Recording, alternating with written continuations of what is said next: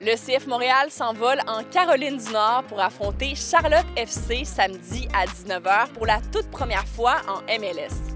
Les Montréalais se retrouvent présentement en troisième position dans le classement dans l'Est, à seulement deux points de Philadelphie en première place.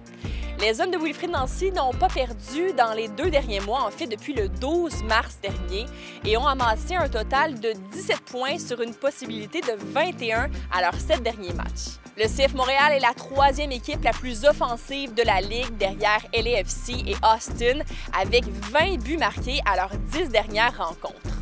Qu'est-ce qu'on surveille du côté de Charlotte? L'attaquant de 25 ans, Carole Swiderski, qui a marqué 4 buts et fait une passe décisive jusqu'à maintenant.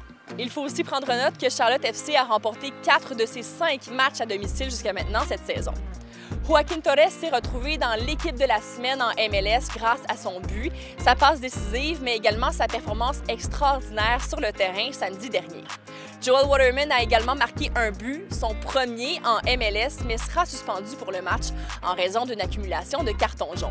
Montréal pourrait atteindre la première place du classement dans l'Est avec une victoire face à Charlotte samedi soir et un match nul entre Philly et les Red Bulls qui aura lieu le soir même. CF Montréal face à Charlotte FC, ça a lieu samedi soir à 19h et c'est à ne pas manquer à TVA Sport 2, TSN, au 91.9 Sport et sur TSN 690.